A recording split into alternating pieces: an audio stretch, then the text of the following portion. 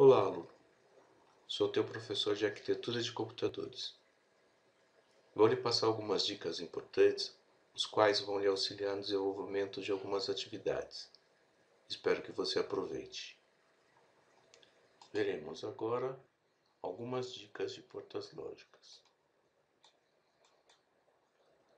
Para exemplificar, será obtido o circuito que execute a expressão S igual A mais B vezes C vezes B mais D. Notem que existem apenas quatro variáveis: A, B, C e D. Existem também três circuitos lógicos uma, duas, três. Para o primeiro parêntese, tem-se uma soma booleana, A mais B. Logo, o circuito que o executa será uma porta OR. Para o segundo, tem-se outra soma booleana, B mais D. Logo, o circuito que será uma porta ou. Posteriormente, tem-se a multiplicação booleana de dois parênteses juntamente com a variável c, sendo o circuito que executa essa multiplicação uma porta E. Para finalizar, unem-se as respectivas ligações, obtendo o circuito completo. Vamos ver o passo a passo? Veja então agora como é possível desenhar um circuito lógico executando a função booleana qualquer. Lembrando que o método para a resolução consiste, primeiramente, em identificar quais são as portas lógicas na expressão, desenhar suas respectivas ligações, a partir das variáveis de entrada. Nesse primeiro passo, nós temos aqui, primeiro parênteses, que é o que? É a soma booleana de A mais B. Não vão esquecer que essa representação gráfica é o OU. Nós temos a outra soma booleana, B mais D. É outra porta OU. Veja, eu vou representando graficamente o que está entre parênteses. E vou denominando um nome fictício para ele, só para eu poder é, compreender como será a montagem. Segundo passo, então, é a multiplicação booleana desses dois ous e a variável c. Então a representação gráfica é exatamente essa. Vamos ter aqui também um identificador S como saída. Terceiro passo é a união dessas duas portas ou unindo com o segundo passo nessa representação. Aí fica assim: A ou B multiplicado, variável c multiplicado com outra porta ou, veja que aqui estou indicando um nó, né, numa variável que já existe nessa outra porta, quando se repete aqui, então eu uso essa expressão nesse formato. Então fica B ou D. Fica assim completo. A nossa expressão gráfica no formato de desenho. Farei uma revisão dos blocos lógicos mais básicos. Então, esta é a função e ou n. A função e é aquela que executa a multiplicação de duas ou mais variáveis booleanas. Observe aqui o símbolo usual. Existe uma tabela da verdade, onde contando quantidade de variáveis, você terá um número máximo de condições possíveis. Nós temos duas variáveis de entrada, A, B, onde apenas uma saída. Sendo duas variáveis de entrada, nós temos a expressão 2 elevado a 2. Isso significa que existem quatro combinações possíveis entre essas duas variáveis. Veja aqui representado. A primeira variável, 0, 0, 1, 1. Segunda variável, 0, 1, 0, 1. A saída é o resultado dessa operação AND. A função e, nesse caso, o resultado vai ser 1 quando todas as variáveis foram 1 e será zero quando a variável possuir pelo menos um valor zero. Observe a expressão. Lê-se S é igual a e B. Veremos agora esse bloco lógico. Porta OU, ou OR. É aquela que assume valor 1 quando uma ou mais variáveis de entrada forem iguais a 1 e assume 0 se, e somente se, todas as variáveis de entrada forem iguais a 0. Sua representação algébrica para as duas variáveis de entrada lê-se assim: S é igual a A ou B porta não ou not. A função não é aquela que inverte ou complementa o estado da variável de entrada. Ou seja, se a variável estiver em 0, a saída vai para 1. Um, e se estiver em 1, um, a saída vai para 0. Essa é a forma de se representar algebricamente. S igual a barra ou simplesmente você pode dizer não há. Observe esse circuito. Este é a representação gráfica. Uma entrada, nós temos um triângulo e um pequeno círculo para uma saída. Veja que o inversor é o bloco lógico que executa a função não da sua representação. Se a variável a possui um valor zero, a sua saída é o inverso, é 1. Se a variável a possui a sua entrada o valor 1, ele vai inverter o valor de saída para zero.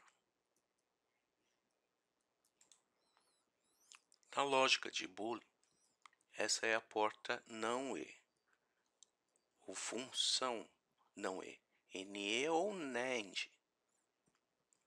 Essa função é uma composição das duas funções e e não. Ou seja, é a função e invertida.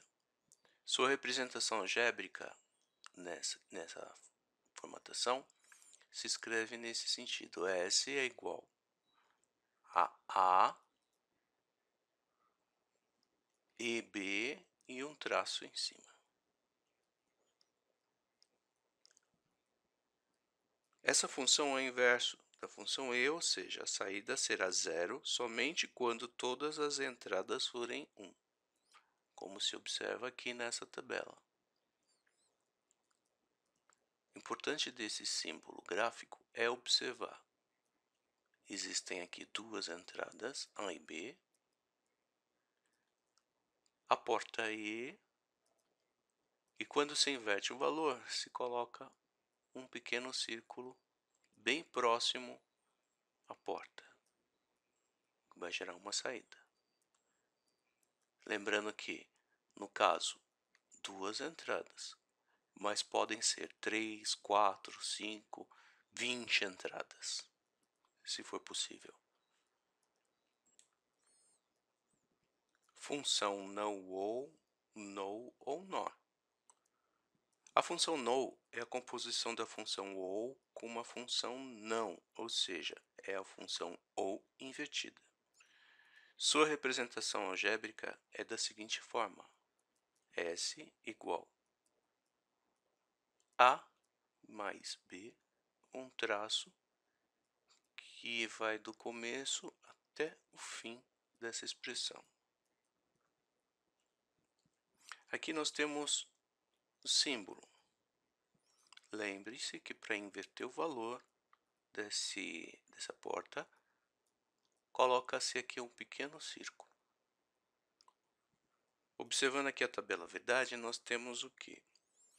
Essa função é inverso da função OU, ou seja, a saída será zero se uma ou mais entradas forem 1. Porta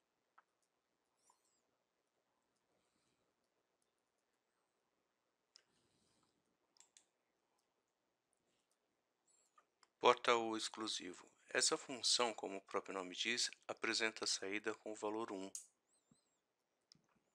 Quando as variáveis já entradas forem diferentes entre si.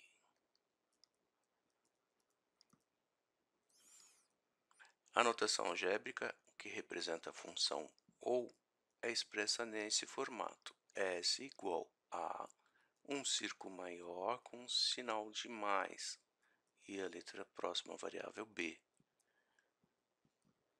Aqui nós temos então o símbolo usual e aqui a tabela da verdade. Observaram que aqui tem dois símbolos iguais, dois valores zero. A saída é zero. Aqui dois símbolos iguais, os dois são valores 1. A saída é zero. Esse bloco lógico é chamado de coincidência, justamente porque, quando houver uma coincidência nos valores das variáveis de entrada, o resultado é alternado. Observe aqui, nós temos o valor 1 como saída quando as duas variáveis se coincidem.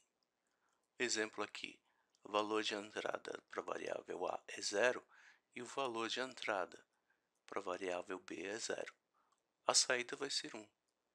Aqui a variável de entrada para a variável a é zero e agora aqui na variável b a entrada e valor é 1. A saída será zero. Entrada para a variável a é 1 e a entrada para a variável b é zero, a saída será zero. Quando houver a coincidência das variáveis a assumindo o valor 1 e b assumindo o valor 1, a saída será 1. Essa é a sua expressão, é a sua representação gráfica em formato algébrico. S igual a um círculo e ao centro um ponto e a próxima variável b. Veremos agora, dentro de portas lógicas, a tabela verdade obtida de expressão booleana e logo a seguir, expressão booleana obtida de circuito lógico. Tabelas da verdade obtidas de expressões booleanas. Uma maneira de se fazer o estudo de uma função booleana é a utilização da tabela da verdade. Para extrair a tabela da verdade de uma expressão, deve-se seguir alguns procedimentos. Antes que eu inicie os procedimentos, devo lembrar que todo circuito lógico executa uma função booleana e, por mais complexo que seja, é formado pela interligação de portas lógicas básicas. Assim, podemos obter a expressão booleana que é executada por um circuito lógico qualquer. Veremos agora os procedimentos. Vamos apresentar aqui os procedimentos na ordem em que estão posicionados. Primeiro, montar o quadro de possibilidades. Segundo, montar colunas para os vários membros da equação. Terceiro, preencher essas colunas com os seus resultados. Quarto, montar uma coluna para o resultado final. E o último procedimento, quinto, é preencher essa coluna com os resultados finais. Para exemplificar esse processo, vamos usar essa expressão S igual a e B invertido e C, ou A e D invertido, ou A invertido e B e D. Essa expressão contém quatro variáveis, A, B, C e o D. Logo, existem 16 possibilidades de combinação de entrada. Veja que aqui está representado 2, porque pode ser 0 ou pode ser 1, elevado à quarta. Dessa forma, monta-se o quadro de possibilidades com quatro variáveis de entrada, três colunas auxiliares, sendo uma para cada membro da expressão, e uma coluna para o resultado final. Veja aqui o exemplo.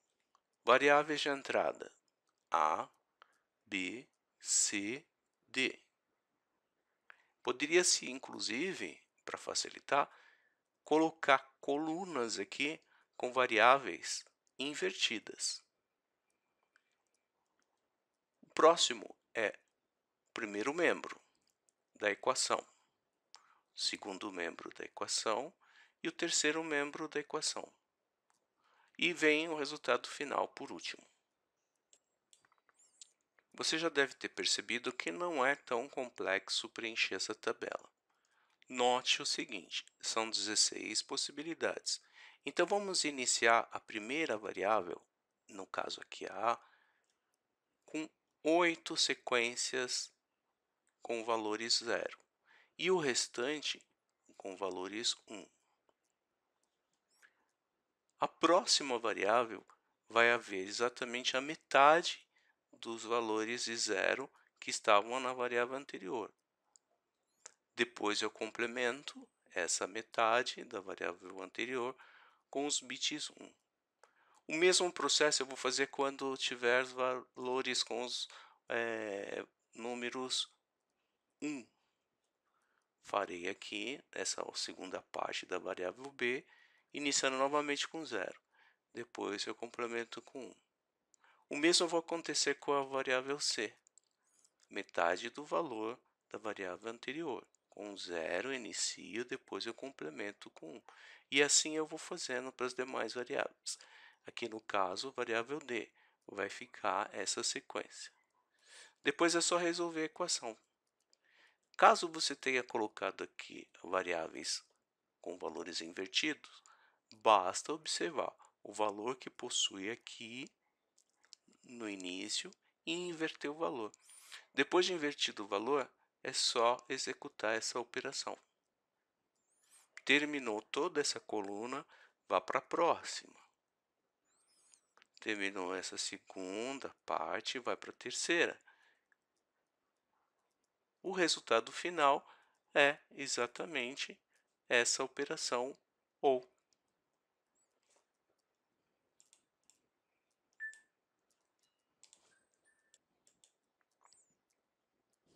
Vocês verão agora expressões booleanas obtidas de circuitos lógicos.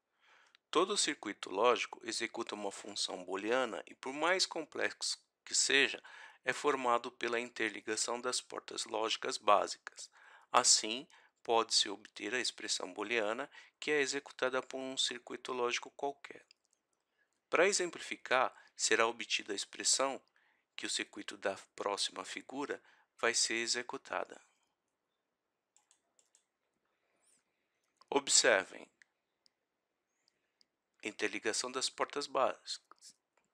Nós temos aqui uma representação gráfica. Para facilitar, analisa-se cada porta lógica separadamente. Veja esse exemplo. Que porta lógica é essa?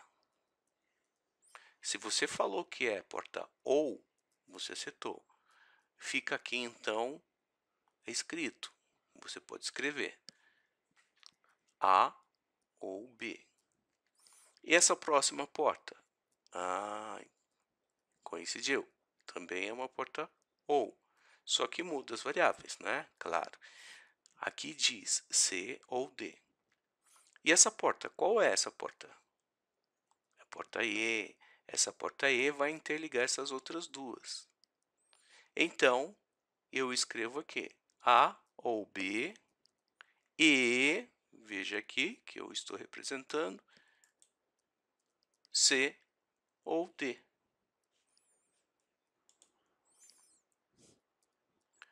O exemplo dessa próxima figura visa evidenciar um símbolo de negação muito utilizado e que muitas vezes é esquecido e não considerado.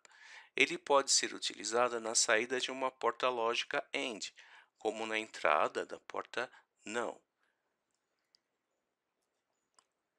Aqui nós temos, por exemplo, a variável C possui uma barra. O que quer dizer? Você está invertendo o valor dela. Lógico, quando estiver entrando nessa porta.